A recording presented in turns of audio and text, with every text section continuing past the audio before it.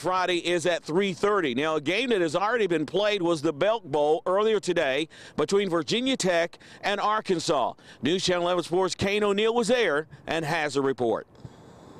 Thanks, Kenny. Virginia Tech has played on some big stages this season, but come up just a bit short, falling at the battle at Bristol and in the ACC championship game.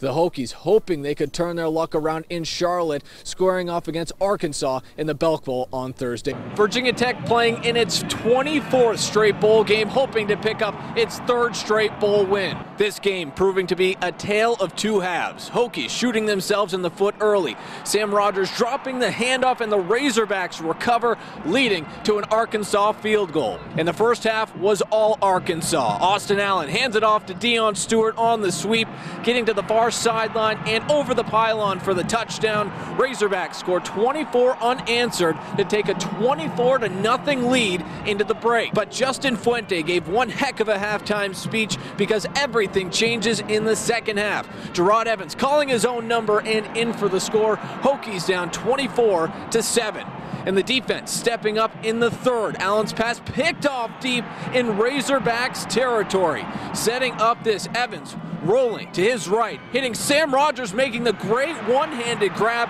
and stretching over the goal line for the score. Hokies down just 10 but they weren't done. Allen again picked off deep in his own territory, this time by Tremaine Edmunds.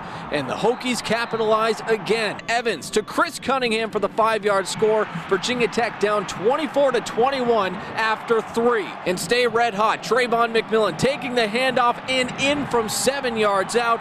Hokies complete the largest comeback in school history, scoring 35 unanswered points to stun Arkansas 35 to 24 24.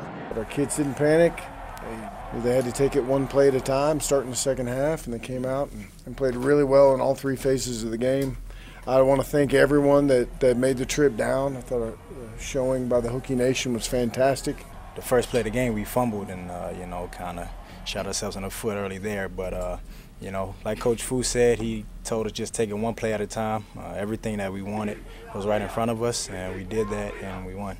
Kenny, a historic night here at Bank of America Stadium as Virginia Tech scores 35 unanswered points to shock Arkansas and pick up the Belk Bowl win. Now it's third straight bowl victory. Reporting in Charlotte, Kane O'Neill, News Channel 11 Sports. Thanks a lot, Kane. You know, it has been a fine season for Justin.